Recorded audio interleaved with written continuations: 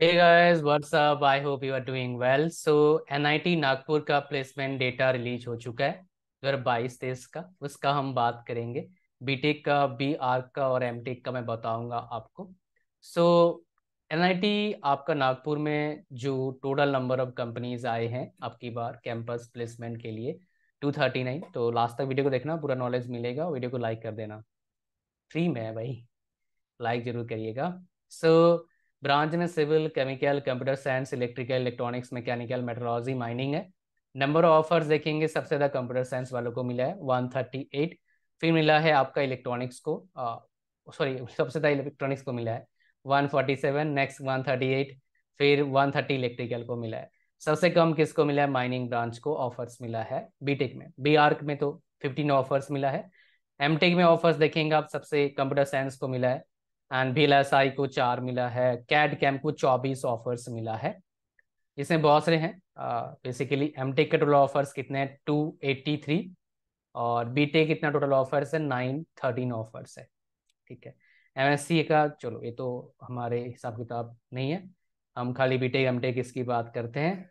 So total number of offer sector wise आप देखेंगे, यहाँ पर ऐसे है। तो ये रहा आपका प्लेसमेंट अभी भी चल रहा है प्लेसमेंट लेकिन आपको एक चीज़ बताऊँगा। प्लेसमेंट का डेटा तो आपको थोड़ा सा बताया है लेकिन और डेटा आपको देने का है मेरे पास।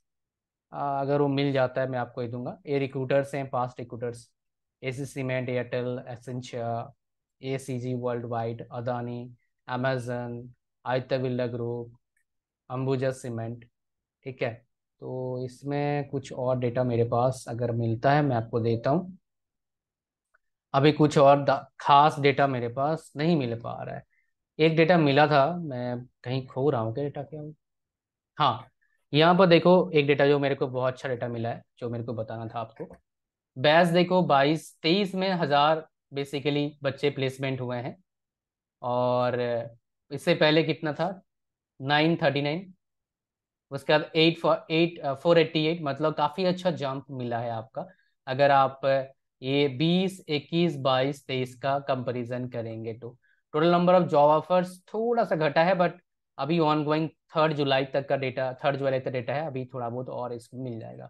नंबर ऑफ़ कंपनीज़ ज़्यादा विज़िट करे थे दो हज़ार बाईस में, तेईस में बहुत अच्छे कंपनीज़ है हालाँकि, कम नहीं है अगर हम बात करेंगे तो।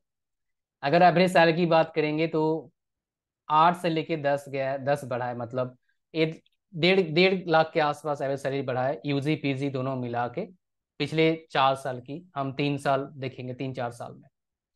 ठीक है एवरेज टर्न से ये तो इंटर्नशिप वाला है, इसकी हम बात नहीं करेंगे।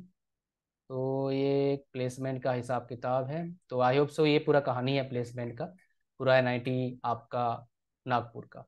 ठीक है तो इतना था इस वीडियो में। और डेटा अच्छा आएगा तो आपको शेयर करूँगा मतलब और डिटेल आएगा कभी तो किसी कॉलेज का मैं शेयर करूँगा आपके साथ। थैंक यू वेरी मच मिलते हैं नेक्स्ट वीडियो में। Good luck